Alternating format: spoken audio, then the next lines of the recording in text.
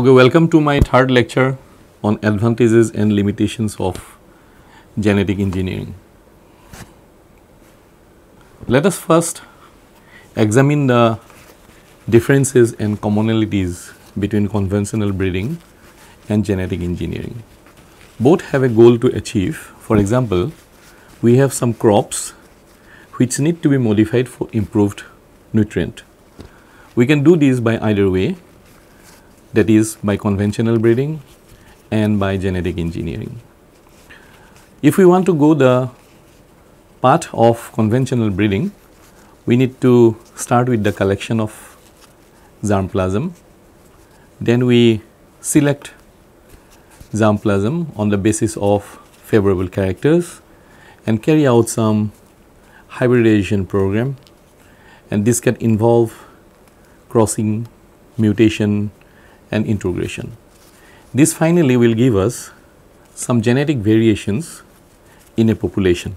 Alternatively, we may like to go for genetic engineering under certain circumstances.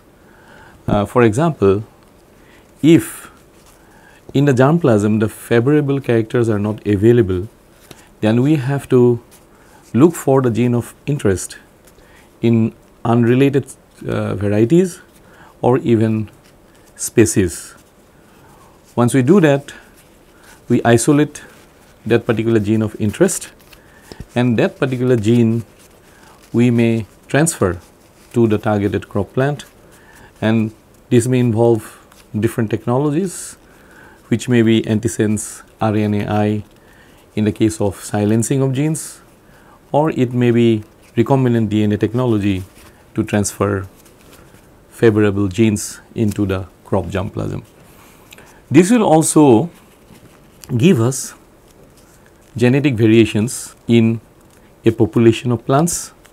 Now, after the creation of genetic variations by either way the conventional breeding and genetic engineering, we can follow a common path uh, that is the selection of superior recombinants and evaluation and this we do with the help of markers. Now, once we get our favorable desired traits in particular uh, individuals of the crop plants under development, say for example here our original goal was to have a crop with improved nutrient and after all testing and validation we came up with those individual crop members which have indeed improved uh, nutrients in the case of conventional breeding, we can go for the seed distribution and raising the crop.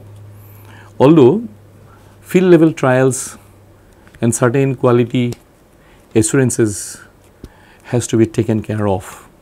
And in certain cases, certain national law may be there which may be complied to.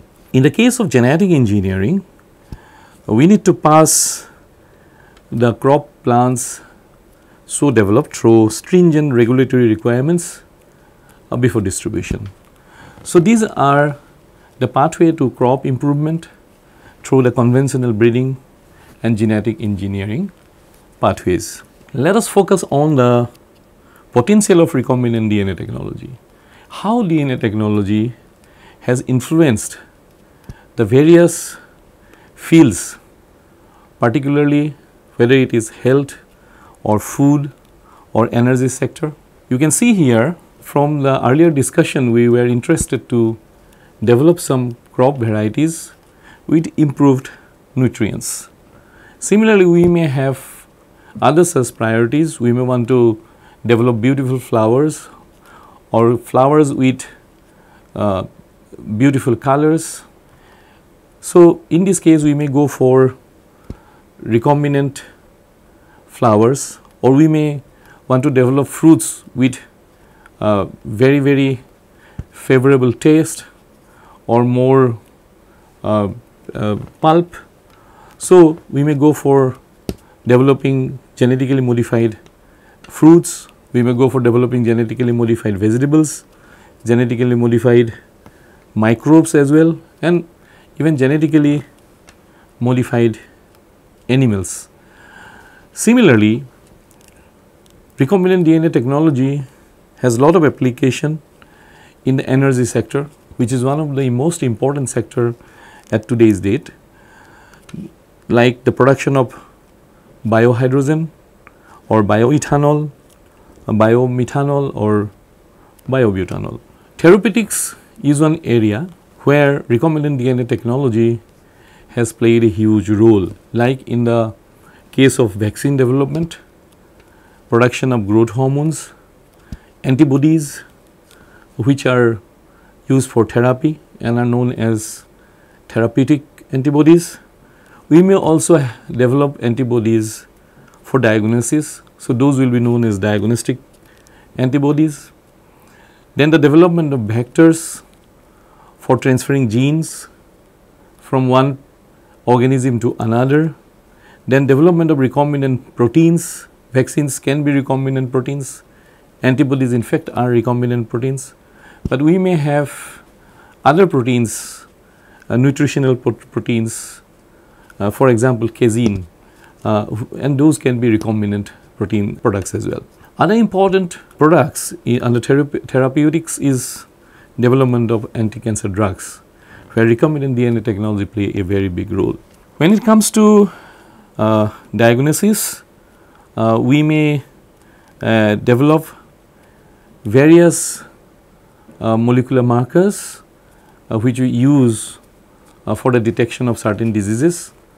In the recent case of the COVID pandemic, all of you know about the RT-PCR uh, technology.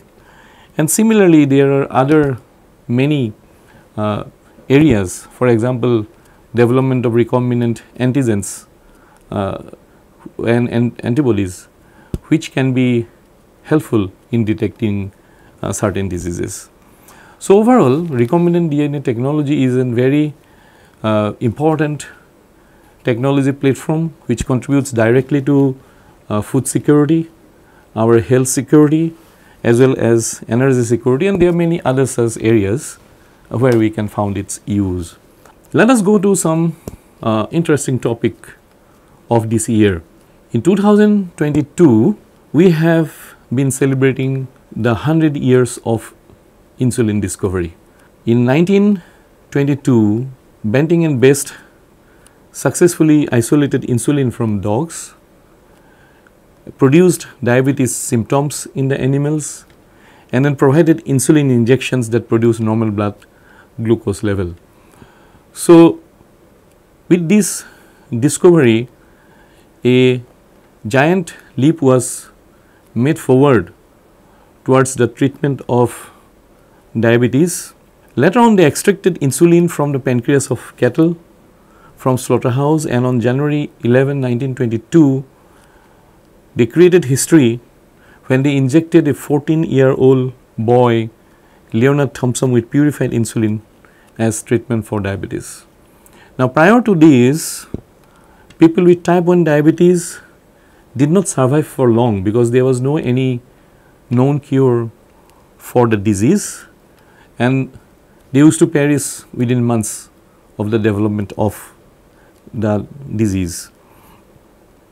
Soon insulin became widely available and it saved countless lives around the world for which the very next year in 1923 Banting and another worker MacLeod who had equal contribution in the development of therapy of diabetes were awarded the Nobel Prize in medicine. In this picture on the right you can see F.G. Banting and uh, C.H. Best uh, with a dog on the roof of the medical building in Toronto in August 1921 where they developed these uh, insulin. Later on in 1955 a British biochemist named Frederick Sanger managed to fully sequence the bovine insulin and discovers its exact composition in terms of amino acids. These are very important discoveries on the path to the betterment of diabetes care. For this discovery, Sanger was awarded the Nobel Prize in chemistry uh, in the year 1958 for the discovery of the physical structure of insulin Another English biochemist, Dorothy Mary Crawford Hodgin, uh, a pioneer in the protein X-ray crystallography was awarded the Nobel Prize in chemistry in 1964. So, you can see that insulin, diabetes has been such an important area of work. All the pioneer workers were awarded with the Nobel Prize starting from Benting and uh, MacLeod. Let us now discuss a few of the success stories of genetic engineering. What are recombinant pharmaceuticals? We already discussed in one of the slides about the therapeutic importance of recombinant DNA technology. We know that the recombinant DNA technology can produce vaccines, antibodies as well as cancer drugs, so on and so forth. So, these recombinant pharmaceuticals are created by inserting genes from one species into a host species, often yeast or bacteria, where they do not occur normally. The clone genes code for a desired product in the host organisms. The genetically modified host organisms can be grown and act as a living factory to produce the product. In 1978, the first recombinant DNA human insulin was prepared by David Godel and his colleagues working at Genentech by utilizing and combining the insulin A and B chains expressed in Escherichia coli. The human insulin protein has two subunits. One subunit is known as insulin A and the another subunit is known as insulin B. The genes for these two different subunits were cloned into two separate E. coli population and the two populations produce the two different subunits. So, this is a brief history of the development of uh, insulin, artificial insulin and some of the important discoveries which contributed directly to its development starting with the deciphering of the genetic code followed by the development of recombinant DNA methods and then the chemical synthesis of DNA active in cells and the inception of this company Genentech in 1976 is also a milestone in this case because Genentech was the leading company who developed these therapeutic molecule.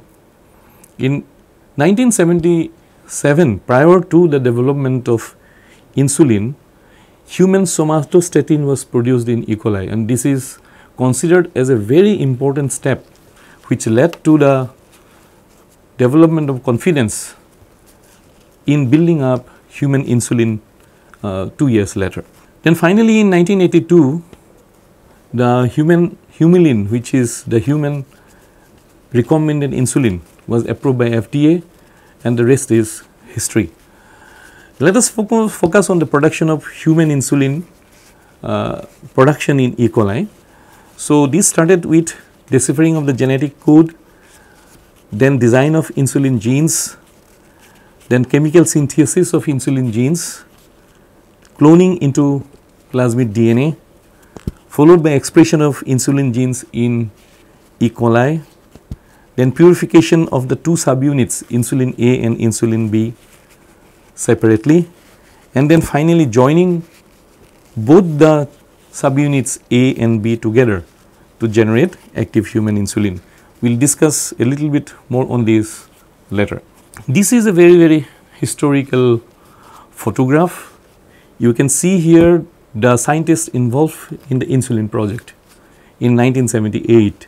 Uh, from left to right you can see Itakura, Riggs, Godel and uh, Crea and in this uh, blackboard in the center you can see the schematic for generation of the insulin using plasmid to transfect E. coli to produce human insulin chains A and B separately. This is the scheme which I have discussed in the earlier slide and this is the same scheme which you can see in the center where after deciphering of the genetic code and chemical DNA synthesis, the A chain is cloned into a population of E. coli, B chain is cloned into another population of E. coli, they are expressed and then they are purified and then after purification they are cross linked to form the human insulin. And you can see here the cross linking schematics. The insulin A or B chains were inserted into the beta galactosidase gene of a plasmid cloning vector. The bacteria made a fused chimeric protein which contained beta galactosidase linked by methionine to an insulin tail. So, this product has chain A which was linked to beta galactosidase and this chain has uh, linked to it beta galactosidase uh, uh, this chain B has uh, linked with it the beta galactosidase uh, as well. So, after partial purification the insulin peptide chain is cleaved by treatment with cyanogen bromide to release the beta galactosidase from this fused protein and then it is purified to produce the pure A and B chains which are joined through oxidation to produce the human active human insulin. Humulin is human insulin made through recombinant DNA technology. Prior to its development, diabetics were treated with insulin isolated from animals like pig and cow pancreases. The advent of biosynthetic human insulin, which was produced biotechnologically in E. coli strain K12, made it possible to produce mass quantities of highly purified insulin for the treatment of insulin dependent diabetics while avoiding the problems inherent in supplies of insulin produced from animal pancreas. The warranty against inadequate supplies of insulin offered by biosynthetic human insulin makes the use of pork insulins unnecessary and beef insulins totally useless. What are the advantages of humulin over highly purified animal insulins? A. They produce lower titers of circulating insulin antibodies because the insulins isolated from animal sources were like foreign proteins to some extent in the human body, they used to elicit antibody production.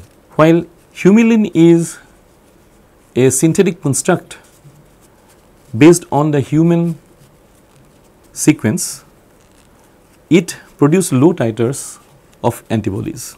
The subcutaneous injection of humulin is associated with fewer skin reactions compared to those with animal insulins. They are absorbed more rapidly from the injection site unlike the animal insulins and there is less degradation at the site of injection. So, overall humulin offered a big advantage over the purified animal insulins. You can see here the humulin R which is regular insulin human injection and you can see here in the label this is of recombinant DNA origin. Now, let us focus on the statistics of the incidence of diabetes. The incidence of diabetes is increasing at an alarming rate and it has been speculated that the number of diabetic patients worldwide will increase to approximately 300 million by the year 2025. Consequently, the requirement for insulin increased manifold, approximately more than 16,000 kg per year, which is a very, very big quantity.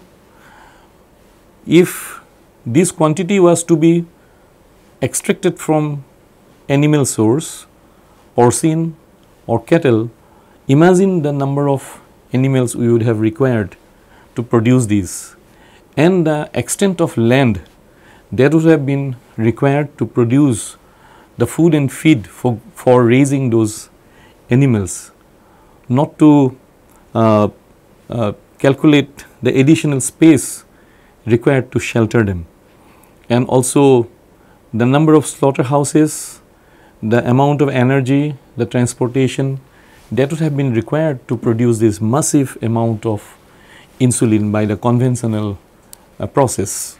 But recombinant DNA technology is a blessing to us. Today we do not require that extensive space to produce the similar amount of uh, recombinant uh, humulin or human insulin. It can be done in a very small space. We do not require the land to grow the food and uh, fodder for the raising of those elements. Uh, we do not also need the space for their sheltering and the slaughterhouses. Neither do we need a big transportation of bringing the animals uh, to those slaughterhouses. So, thereby this has direct impact on the environment in terms of carbon footprint, water budgeting and so on. So, without recombinant DNA technology, we cannot solve such problems of high magnitude. Now, insulin is just one of the recombinant therapeutic products. There are many other such products which are now extensively being uh, used and produced. So, if we would have followed the conventional path of producing them, the earth would soon become devoid of its resources, whether it is land, water and other resources and it would add to the current crisis of climate change.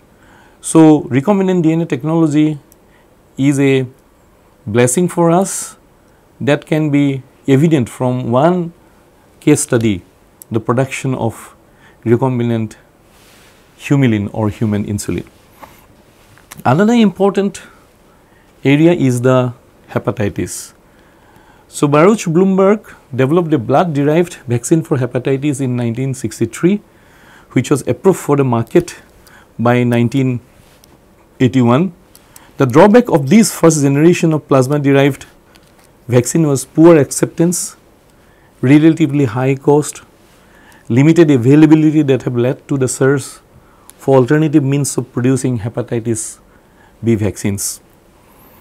Pablo D.T. Valenzuela was able to create the world's first recombinant vaccine for hepatitis using yeast cells primarily Saccharomyces cerevisiae in 1979 Many vaccines we use today are produced by recombinant technology as I have told you a little bit earlier. For example, for diseases like HPV, whooping cough, pneumococcal, uh, meningococcal, Haemophilus influenza type B, HIV and uh, singles etc. So, in this picture you can see Baruch Blumberg who was an American physician and geneticist who received the Nobel Prize in Physiology in 1976 for his work on the hepatitis uh, B uh, virus. This is a report by the World Health Organization regarding the status of breast cancer. In 2020, there were 2.3 million women diagnosed with breast cancer and 685,000 deaths globally. At the end of 2020, there were 7.8 million women alive who were diagnosed with breast cancer in the past 5 years, making it the world's most prevalent cancer. Now, there is a therapy for breast cancer called trastuzumab, which is basically also known as Herceptin and produced by Genentech. And this is a recombinant DNA derived humanized monoclonal immunoglobulin G1 kappa antibody which binds with high affinity and specificity to the extracellular domain of the HER2 receptor and thereby elicits a therapeutic outcome. In vitro and in vivo preclinical studies have shown that administration of trastuzumab alone or in combination with other drugs like paclitaxel or carboplatin significantly inhibits the growth of breast tumor derived cell lines that overexpress the HER2 uh, gene product. Now, there is an interesting story behind the development of trastuzumab or Herceptin. This Herceptin saved the lives of countless number of women with a particularly aggressive form of breast cancer. It also opened new avenues for research that have led to multiple other targeted therapies that attack the disease at its genetic roots.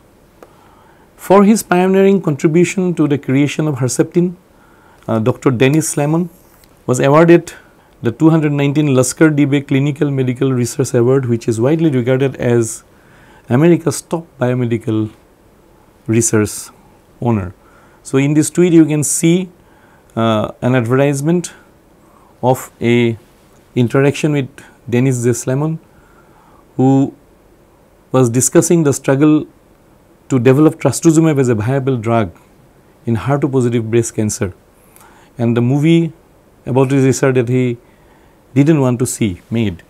So, there is a very interesting book on the development of Herceptin. The book is known as HER2 written by Robert Bazell. Uh, those who are interested can read that book and a beautiful movie has been made out of that book known as Living Proof where this entire struggle in making these uh, trastuzumab is being portrayed. Uh, it needs to be mentioned here that this drug acts only in HER2 positive breast cancer patients, which means this particular marker has to be present in the tumor cells, otherwise this therapy is not going to work as efficiently. Let us now discuss the application of recombinant DNA technology in another area, the development of agricultural crops, Bacillus thuringiensis and BT plants. BT was first discovered in 1901 by a Japanese biologist Shigetani Isuwatari as a cause of Soto disease which was killing mulberry silkworms and he named it as Bacillus soto. Later Ernst Berliner isolated this bacterium from dead Mediterranean floor moth in Thuringia, Germany and named it as Bacillus thuringiensis in 1915. This was later used to produce biopesticides. So, initially the technology was to grow Bacillus thuringiensis in large vessels and then use the culture directly uh, as a spray on crops to protect them, them from uh, attack from insects. Later on to cut down on the on the cost the gene that produces this toxic effect was transferred to plants directly to produce genetically engineered BT crops. So, these BT toxicity is due to a crystal which is referred to as the cryatoxin and this is a protein which is formed during sporulation of some BT strains and it aggregates to form crystals which you can see in the left side over here. Such cryotoxins are toxic to specific species of insects belonging to orders like Lepidoptera, Coleoptera, Hymenoptera, Diptera and also uh, Nematoda. The first genetically modified plant in the laboratory was tobacco in the year 1983 and was tested in 1986 as herbicide resistance in France and the USA. Five European countries like Spain, Portugal, Romania and Czech Republic and Slovenia produce approximately 173 million tons of ancellase maize and 56 million tons of grain maize. BT cotton is the only BT crop cultivated in developing countries. Uh, in 2016, the total world area of BT cotton was 23.3 million, which was 64 percent of the total area of 35 million hectares across 18 different countries grown globally. BT cotton is the only GM crop approved by the Genetic Engineering Appraisal Committee GEAC in 2002 for commercial cultivation in India. The Ministry of Environment, Forest and Climate Change have informed that they have received feedback from multiple stakeholders for and against release of GM brinjal and mustard which are the other two crops having the BT gene. The feedback was suitably considered by the GEAC which has advised additional studies to be conducted for assessment of impact on environment and health. This information was given uh, in a written reply to the Lok Sabha by the Union Minister for Agriculture and Farmers Welfare. Now, this is the data provided by the Ministry of Agriculture and Farmers Welfare on the cultivation of GM crops posted on 3rd March 2020 by PIB. It tells us about the area and production and productivity of BT cotton which has increased steadily since its introduction in India in 2002, 2003, bearing minor fluctuations in certain years. The details of year-wise area under cotton, BT cotton, production in yellow cotton during 2002 to 2003 to 2019 to 2020 is available in the original document. Here we have taken data at a 5 years interval uh, between 2002 3 to 2007 8 11 12 15 16 and finally 2019 and 20. And as you can see since 2002 the area under cotton total area under cotton has increased from 86.24 lakh hectares to 125.84 hectares which is not much in a way, but if you look into the area under BT cotton there is a large increase. Say the area under BT cotton in 2002 and 3 when it was introduced was 0.29 but over the years in the next very next year is jumped to 54.72 and the next uh, uh, next 5 years it doubled to 107 and then it has been hovering around that number 106 in 2015 16 and uh, 2019 20 the area increased to 117 now, if you look into the production statistics, the production of cotton has increased from 86.21 lakh bales to 322.67. So, if you look into the yield kg per hectare, there is a, a huge increase which is twice. In 2002-3, the yield kg per hectare was 191, but by the year 2019 and 20 it has more than doubled and become 436. So, this is a comparison between the area under uh, conventional cotton as well as the area under uh, BT cotton. So, despite the widespread adoption of genetically modified crops in many countries, heated debates about their advantages and disadvantages continue. In developing countries, there are concerns that genetically modified crops fail to benefit smallholder farmers and contribute to social and economic hardship.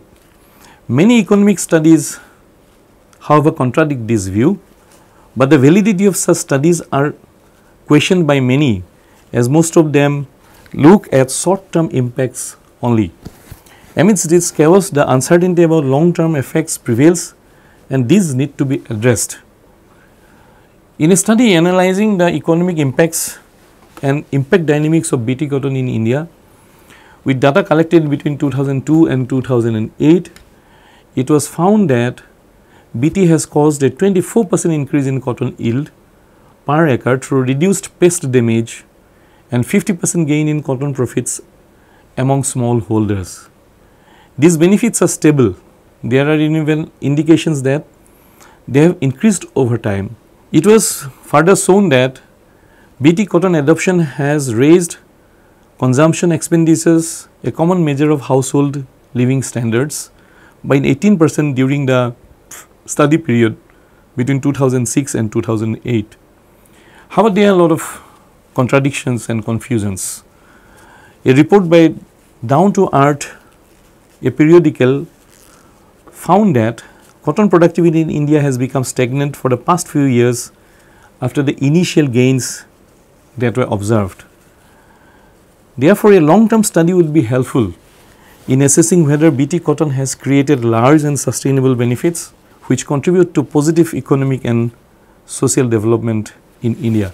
Let us discuss about another agro product which is produced by genetic engineering, the Flavr Savr tomato. The tomato was the first commercially grown genetically modified whole food crop which was modified to ripen without softening by a Californian company, Calgene in 1994. The problem with tomato marketing was its short shelf life.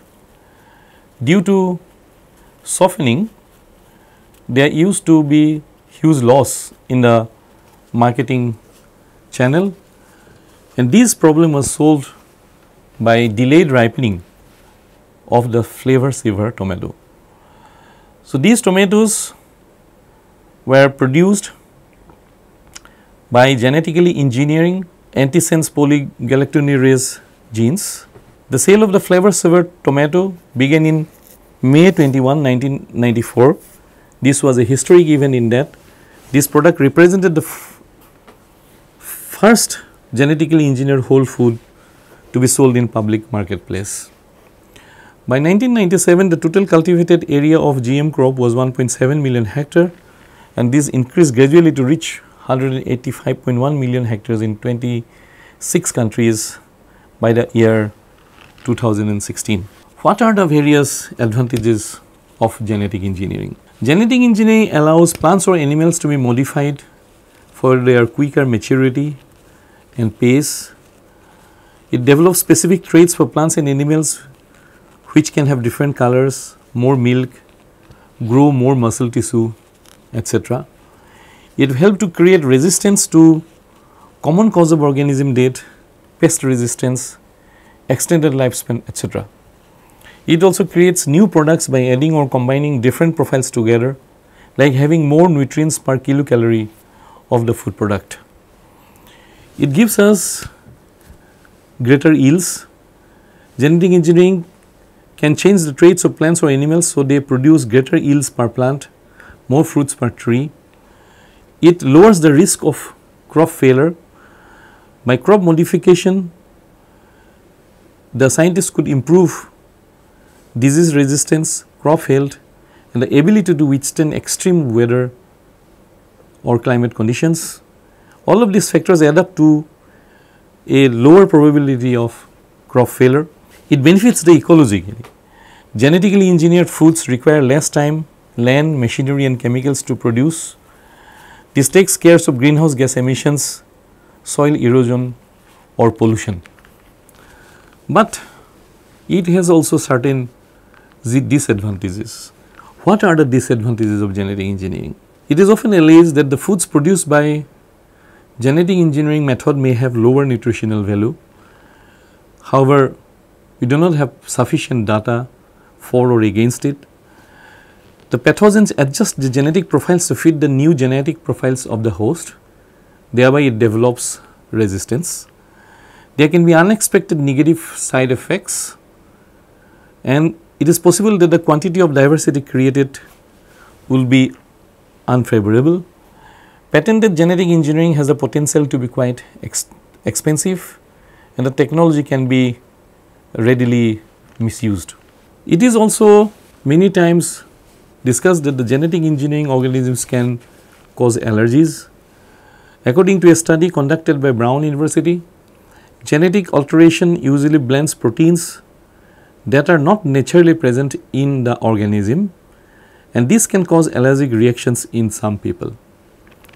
University of Nebraska demonstrated that soybeans that they had been uh, they have enhanced with protein genes from Brazil nuts also had unintentionally been transferred the potential to produce deadly allergic reactions in people sensitive to Brazil nuts.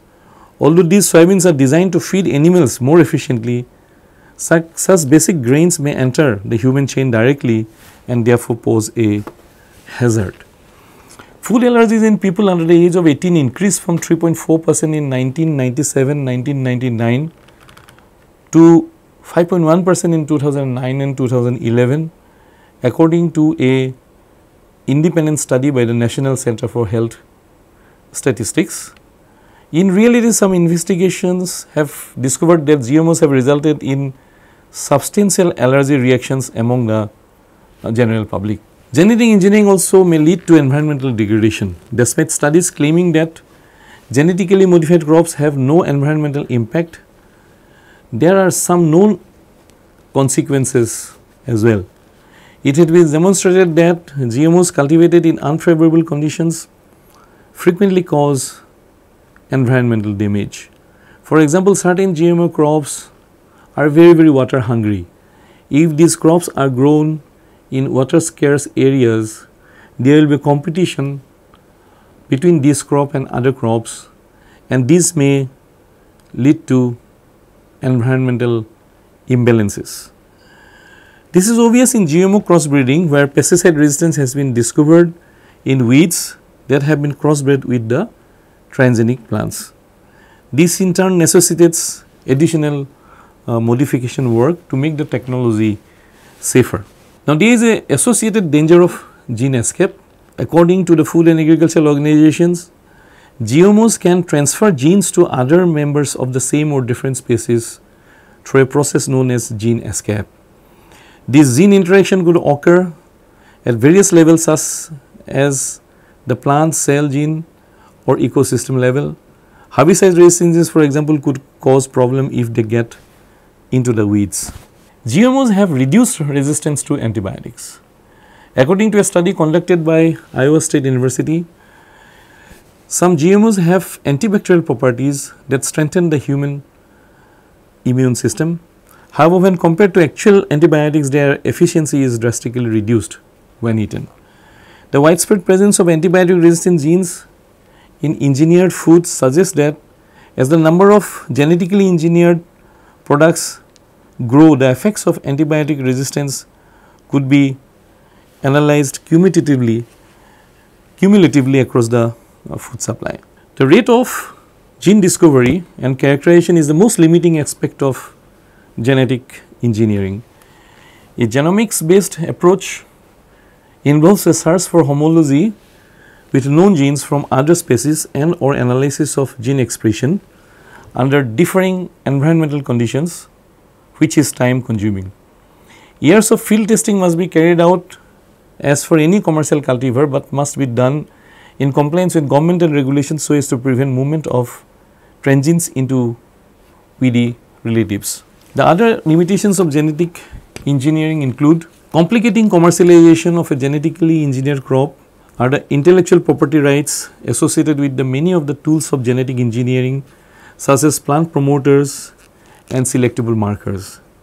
The cost of licensing these tools can be prohibitive, making genetic engineering currently feasible only for very high value traits.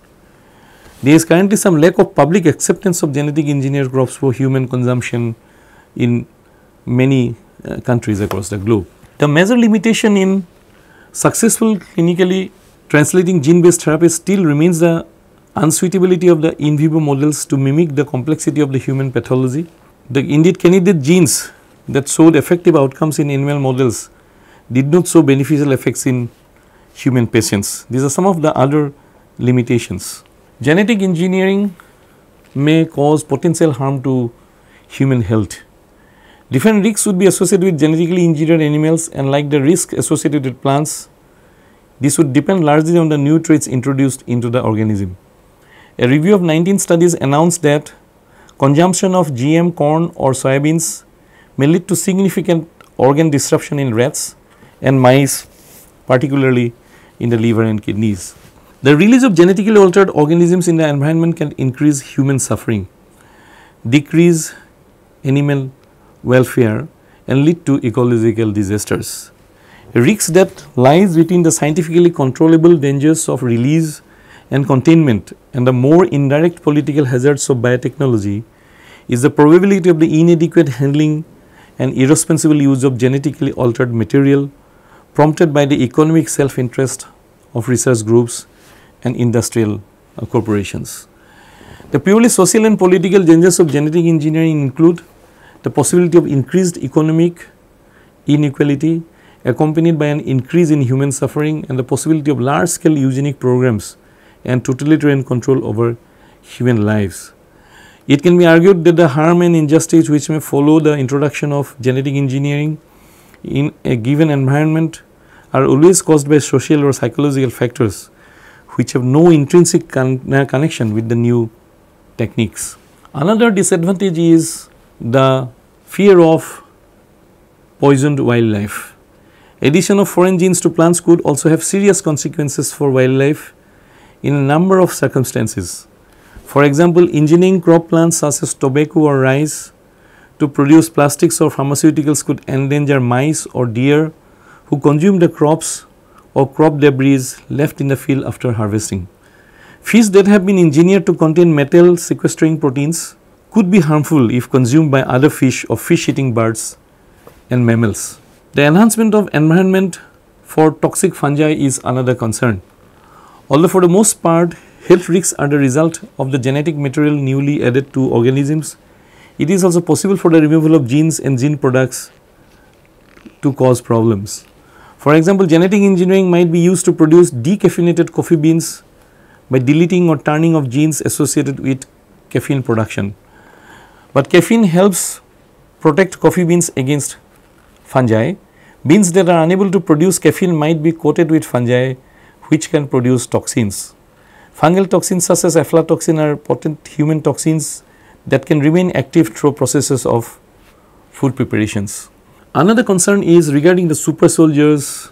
This is of course a fictional idea which is which has popularized the concept of super soldiers, but with the recent technological advancements it may be a possibility in the future.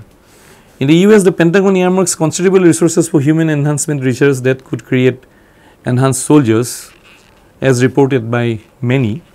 Overall the Safe Genes program is creating a layered, modular and adaptable solution set to protect warfighters and the homeland against intentional or accidental misuse of genome editing technologies, prevent and or reverse unwanted genetic changes in a given biological system and facilitate the development of safe, precise and effective medical treatments that use genome editing. One of the main concerns of recombinant DNA technology and its misuse is the genetically engineered bioweapons which are considered as a new breed of weapons for modern welfare.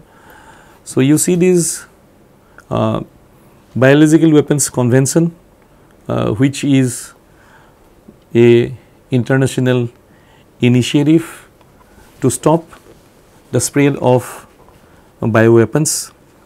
So, CDC under its emergency preparedness and response lists three categories of bioterrorism agents or diseases which are category A, B and C. Category A, it is defined that the US public health system and primary healthcare providers must be prepared to address various biological agents including pathogens that are rarely seen in the United States. High priority agents include organisms that pose a risk to national security because they can be easily disseminated or transmitted from person to person, result in high mortality rates and have the potential for major public health impact might cause public panic and social disruption and require special action for public health preparedness. The category B are the second highest priority agents and it includes those that are moderately easy to disseminate, result in moderate morbidity rates and low mortality rates and require specific enhancement of CDC's diagnostic capacity and enhanced disease surveillance. Category C defines the third highest priority agents which includes emerging pathogens that could be engineered for mass dissemination in the future because of availability, ease of production and dissemination and potential for high morbidity and mortality rates and major health impacts. So, Recombinant DNA technology can produce many of these categories of bioterrorism agents, especially category C, the emerging pathogens which can be engineered for mass dissemination. Dr. Ken Alibek, a former director of the bioweapons program of the USSR, in his memoir described the production of Marburg viral weapon that was ready to be manufactured in large amounts and placed into missile payloads with several warheads. Fortunately, it was never used. So, bioweapons and bioterrorism is not a fiction. Many countries has been working working on it since many decades. You have the infamous ceramic bombs filled with plague infested fleas that were used by Japan against Chinese city during World War II and salmonella used in the Rajneeshi bioterror attack in 1984 that contaminated Oregon salad bars and caused grave tragedies. Genetic engineering can be used to manipulate genes to create new pathogenic characteristics aimed at enhancing the efficiency of the weapon through increased survivability, infectivity, virulence and drug resistance. There are also many other unknown harms as with any new technology the full set of risks associated with genetic engineering have almost certainly not been identified. The ability to imagine what might go wrong with a technology is limited by the currently incomplete understanding of physiology, genetics and nutrition. As with human health risks, it is unlikely that all potential harms to the environment have been identified. Many failures have been encountered in genetic engineering due to various reasons. A report from Texas A&M AgriLife Extension stated that BT cotton and corn have been attacked by bollworms and earworms among other pests. Cryotoxins had a good run and will hang on for a while longer, but the era of the cryotoxins seems to be ending. They suggested that BT crops should contain two or three different toxins to delay resistance. If an insect had an allele to survive on toxin 1, it probably does not have different alleles to survive on toxin 2 and 3 and these strategies can be very very helpful in the future. Tolerance by the scientific community of bias against the mistreatment of non-compliant scientists whose work results in negative findings for transgenics including editorial decisions by peer reviewed journals as well as tolerance of biotechnology industry manipulating the information environment is also very very critical. Monopolization of the makeup of expert scientific bodies on transgenics by pro-industry scientists with vested interest in transgenics is equally dangerous. The deficient scientific protocols bias and possible fraud in industry sponsored industry conducted safety testing of transgenic foods and the increasing politically and commercially driven manipulation of science within federal regulatory bodies such as the FDA also needs to be understood.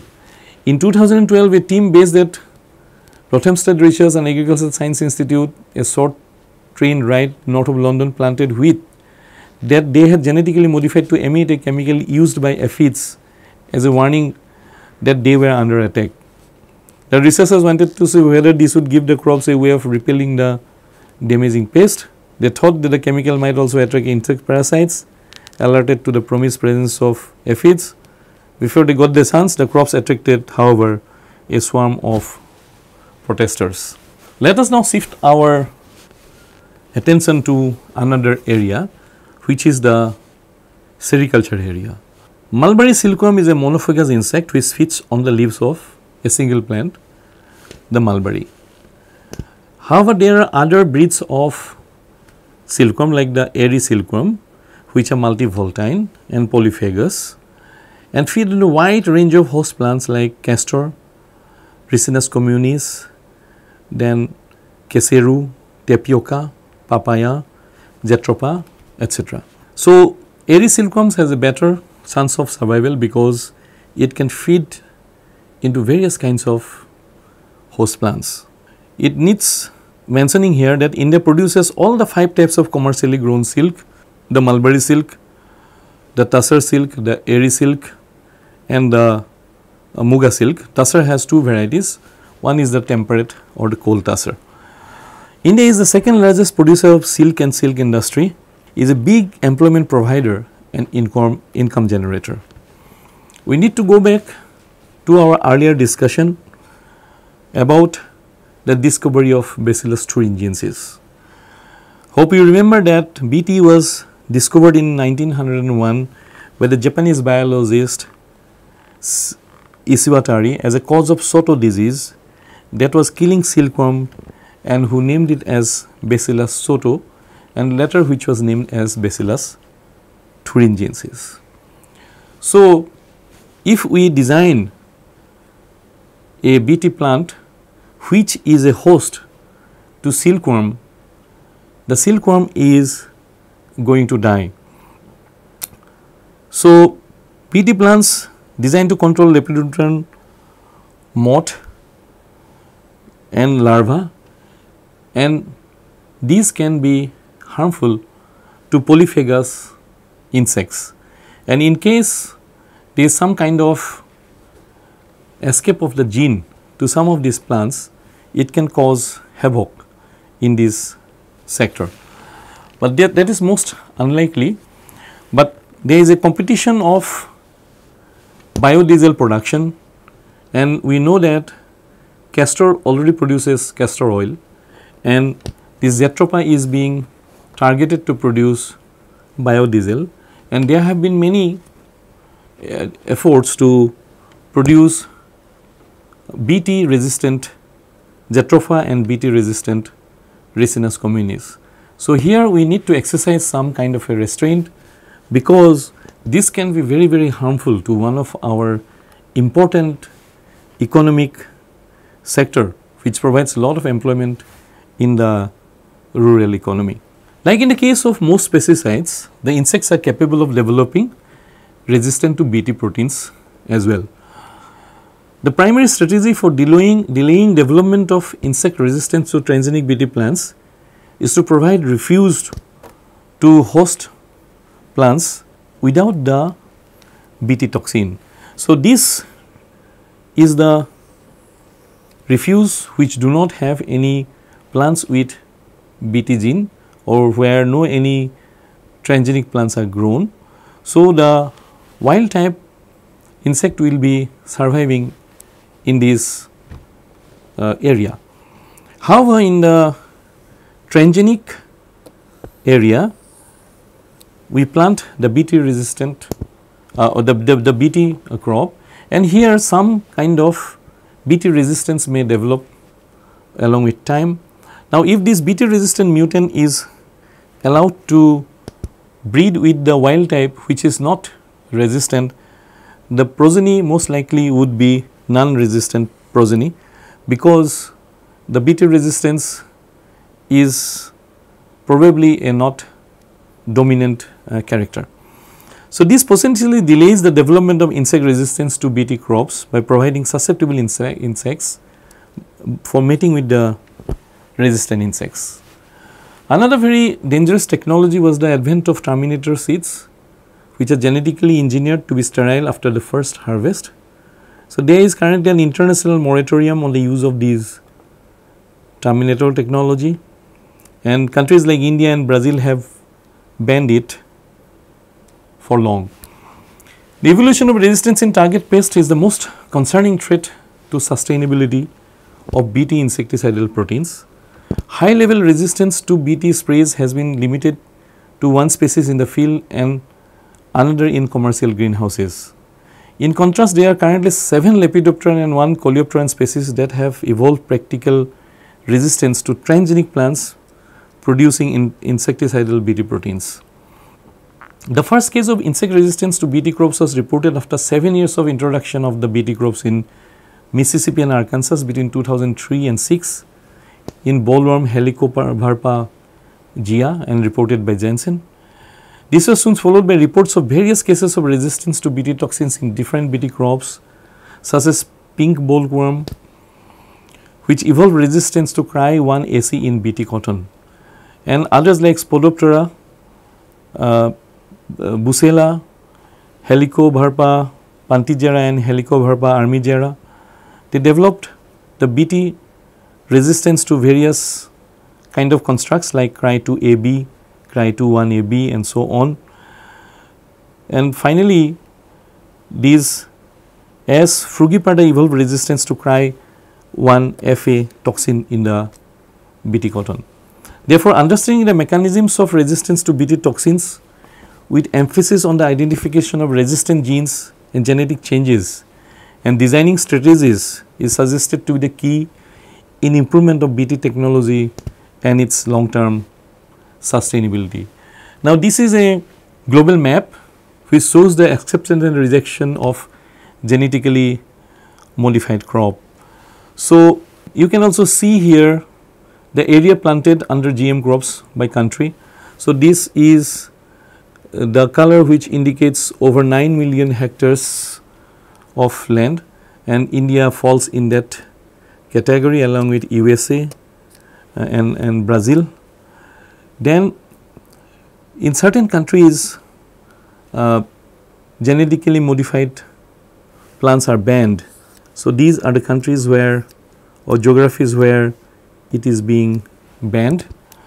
Then you have certain countries where all plant products have to be labeled exception if a contamination up to 0.9 percent is advantageous and technically unavoidable. So, leveling is very very important. So, the food products should be labeled that this is a GM product and there are some countries with this green uh, symbol. This is for few products with many exceptions and you can see that GM crops are mostly banned in European countries as per this map. Now, let us conclude with this comparison regarding the genetically modified crops what are the pros and cons some of those we have already discussed. So, the pros regarding the GM crops is that potential reduction of chemical fertilizers and pesticides contribute to both health of environment and humans. The GM crops require less energy investment in farming thereby reducing the carbon footprint. Higher crop yields could offset greenhouse gas emissions at scales similar to wind and solar energy. Tolerance to abiotic stress as drought, extreme heat or coal salinity etc. Insect and herbicide resistant crops can reduce crop loss. The GM crops may supply more nutritional benefits through single food sources like rice. For example, golden rice was designed to overcome the problem of vitamin A deficiency. However, there are some allegations that GM crops may not be nutritionally uh, as good as the normal crop. Now, what are the cons? The cons include the accelerated evolution of resistant pest population which we have discussed at length prior to this slide. Majority of the seed sales in the global market are monopolized by a few companies. Patents protected GM seeds have created financial and social challenges for many farmers and this can be uh, reasons for distress and other uh, social problems. Adding and mixing proteins that were not native to the original plant might cause new allergy reactions in the human body. Certain GM traits may escape and empower wild species and make them invasive. Thank you.